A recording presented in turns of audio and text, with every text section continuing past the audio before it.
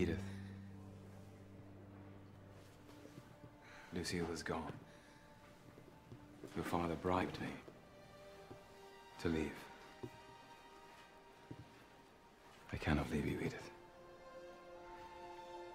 In fact, I find myself thinking of you even at the most inopportune moments of the day.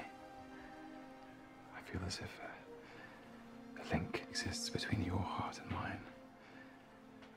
And should that link be broken either by distance or by time, that my heart would cease to beat and I would die. And you. You'd soon forget about me. Never. I would never forget.